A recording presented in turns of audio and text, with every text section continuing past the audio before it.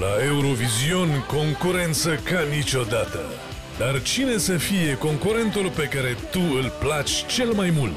Să fie Luminița Angel, Tudor Turcu, Ovidiu Anton, Andrei Leonte, Mihai Alexandru și Rene Santana.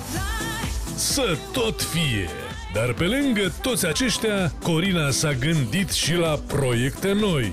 De la Gezapela, Diana Matei, Iana, Distinto și Leticia.